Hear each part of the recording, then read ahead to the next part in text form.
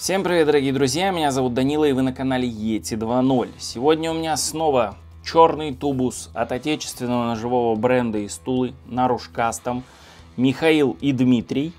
И у меня прототип их новой модели, которая называется Таурус. У меня прям подписано. Прототип первое поколение.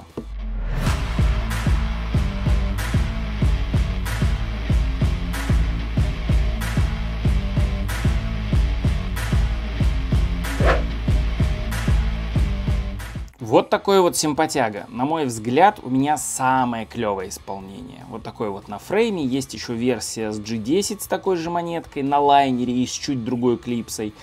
И есть такая попухлее версия. Там, в общем, парни разгулялись по фрезеровкам. Но вот эта вот монетка здесь добавляет на самом деле внешнего вида, учитывая, что вся фурнитура еще в цвет сделана с этой монеткой. Монетка, кстати, титановая.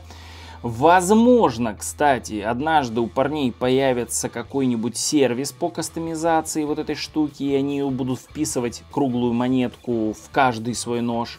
Да, и там в зависимости от того, что захотел поставить, то поставить. Потому что монетка держится на двух винтах. На разборке посмотрите.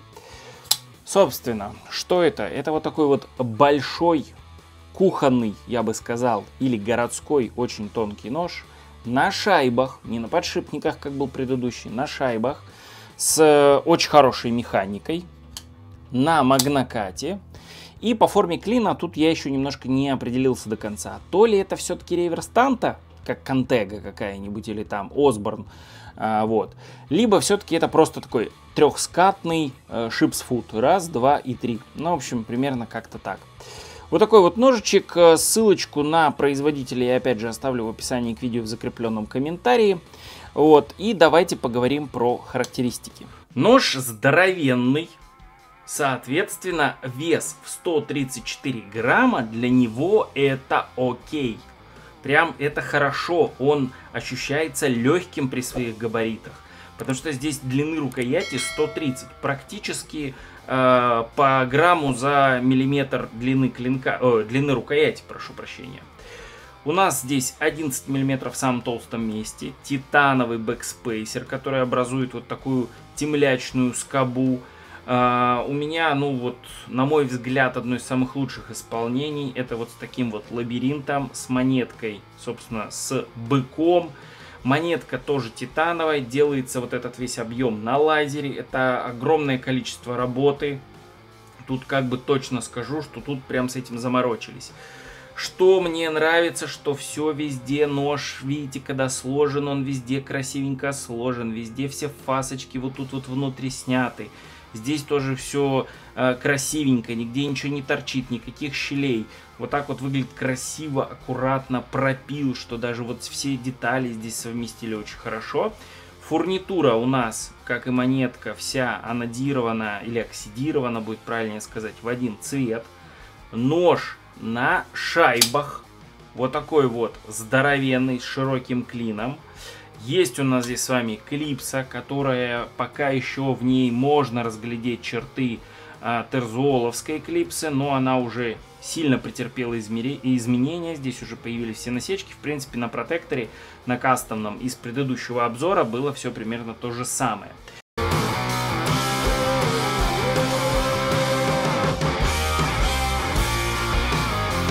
Как вы видите, здесь стоит у нас сухарь. Сухарь интересной конструкции, чуть попозже поймете, почему э, я на это обратил ваше внимание. Тоже он каленый, стоит шар детента керамический, все здесь здорово. А открывать удобно за вот этот диск, он называется правильно самб диск. И что так, что так. Теперь переходим к клинку. Клинка здесь, парни, дофига. Причем он широкий, с высокими спусками, и я даже думаю, что на кухне он себя может очень хорошо показать. 104 мм длины, из них 95 полезных, поскольку у нас все ограничивается вот этой таблеткой. 3,5 в обухе, магнокат, скрио, 62-63 единицы, причем э, вообще сделано все классно. Такое есть на самом деле далеко не у всех. Если вы в канале Э, в Инстаграме э, посмотрите у Наруш Кастом их видео, как они закаливают эти клинки, Они не просто их прижимают плитой, а они еще туда подают сжатый воздух, что клинок остывает очень быстро. Быстрее, чем просто чугунной плитой накрывают и ждут, пока он остынет до комнатной температуры, ну или там до температуры, что его можно трогать рукой. Теперь по сведению. 0,35 и 0,4 на кончике. При 30 мм ширине 24 из них прямой спуск. Резать эту штуковина будет просто супер. Здесь все фасочки аккуратно сняты, ничего где не острое, нигде вы ничем не порежетесь, не заденетесь. Э, огнивом разводить костер не получится. Для лучшего понимания габаритов данного ножа предлагаю сравнить его с другими известными ножами.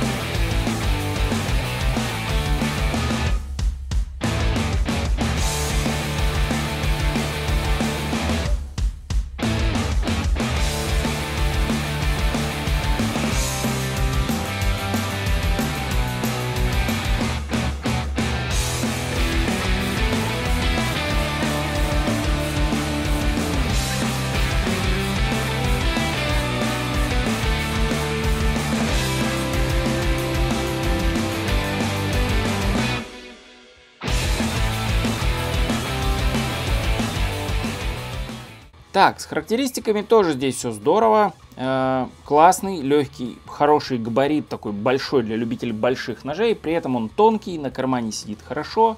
Хорошее железо, не будет у вас ржаветь от яичного пота. Яичный пот это самое страшное после кислоты, что может случиться с вашим ножом. Вот. И здесь хочется приступить к разборке этого ножа, посмотреть, как внутри все облегчено и сделано. А, разбирать будем с одной стороны. У меня есть чудесный тул от производителя, который позволит мне все аккуратно разобрать, не переживая за винты. Что тут все идеальненько подходит. Сразу видим с вами антипроворот. Так, дальше нам что, восьмерка понадобится? Да, точно. Фурнитура вся каленая, 95Х18, если мне не изменяет память. Как бы что это все нержавейка, она еще и анодирована в цвет. Ну, наверное, правильнее будет сказать оксидирована в цвет. Хорошие длинные винты. Вот так вылез у нас backspacer. Все фасочки, все везде снято. Отличненько. Так. Так. Вай, какая красота. Значит, смотрите, монетки, про которые я вам говорил, что они, возможно, появятся когда-то в кастоме, крепятся всего на два вот этих винта. Очень классное облегчение, очень много облегчений внутри, отличные бронзовые шайбы перфорированные. Механика на них просто вообще суперяшная. Так. Вот такой вот клин. Здесь фаски не сняты, но они такие просто заполированы при, а, при финишах. Да, тут вот следы от эрозии, как бы вот, что это видно, что резалось сразу в чистовую. Все отличненько сделано. Как бы не острые грани, а именно такие они были, видимо, на этой, на пасте завален. Вот, наверное, вот тут единственное можно сказать, что где-то вот тут острая грань, все остальное сделано классно. Отверстие детента, рамп никаких нету, все здесь здорово. И ответная часть. У, смотрите, прям классная упорная бонка, причем она такая темненькая, она как будто, знаете, из сверла сделана. Это, ну, вообще классно, если это так, из каленого. Здесь у нас крепится клипса, фрейм, вот такое вот маленькое аккуратное облегчение. А, сухарь, сухарь стальной, каленый, большой керамический шар детента стоит. В общем, вот так вот все это дело сделано. А, значит, смотрите, я когда делал обзор на протектор, Я про этот момент как бы немножко упустил. Но потом, позже, я сначала додумался, а потом спросил, правильно ли я понял или нет. Знаете, для чего сделано вот так, что сухарь меньше, чем вот эта вот часть? Вот тут вот есть, видите, такая как ступенька-лесенка. Это сделано для того, чтобы ваш сухарь не мог зайти дальше на клинок, чем на свою ширину. Далее он упрется вот в эту вот полочку. Это как бы вот это овертревел, чтобы наружу не отогнули. А вот этот овертревел, чтобы сухарь дальше не, про, не провалился. Что если у вас сухарь заходит на всю глубину, уже упирается вот этой частью, и вдруг у вас появится вертикальный люфт, не горизонтальный, а вертикальный, вверх-вниз, то просто меняется сухарь и все. Но сколько у вас потратится на это лет, годов и месяцев, это большой вопрос. С внутрянкой все, как всегда, супер. Так, ну что ж, друзья, здесь все сделано тоже здорово. А что стоит отметить? Мне очень нравится реализация вот этих насечек на фреймовой части. Вообще, в принципе, все фаски сняты очень хорошо. Нигде ни одного острого угла. При этом нигде нету мыла, да, что такое оно, где-то такое угловатое, где-то круглое.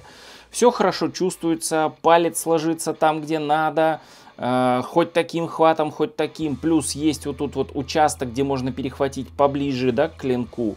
И в принципе это именно на любителей больших ножей. В принципе, парни стараются делать такие 95, 100, вот в моем случае аж 104. Сам диск тоже очень удобная тема возможно, возможно, даже в некоторых случаях удобнее, чем обычный шпинек, потому что есть везде насечки, и, соответственно, площадь соприкосновения большая, вы палец как бы не положили, стрельнет хорошо. Вот такой вот интересный проект. Э, когда только они сделали анонс, я такой думал, блин, наверное, клевый все-таки G10. Но вот эта штука, вот эта фрезеровка, она прям порадовала. При этом обратите внимание, что монетка, напомню вам, это все лазер, объемная гравировка. Вот так все это дело выглядит. В общем, с каждым новым ножом работы все интереснее и интереснее, все более интересные самобытные дизайны и самое главное, что стабильное, но при этом постоянно растущее качество. Поэтому, друзья, однозначно, как и многое сделанное в России, причем сделанное хорошо, из хороших материалов, это вам не Севиви и знаете, кстати, Винайф-то уже близко по цене. Поэтому э, подписывайтесь на их Телеграм, либо на какую-то другую соцсеть, типа там ВК.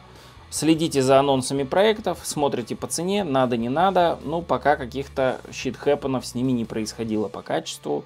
Вот, поэтому крайне рекомендую присмотреться, если хочется попробовать хороший отечественный нож. Вот такое сегодня видео, надеюсь вам было интересно и полезно. На этом все, всем спасибо, пока.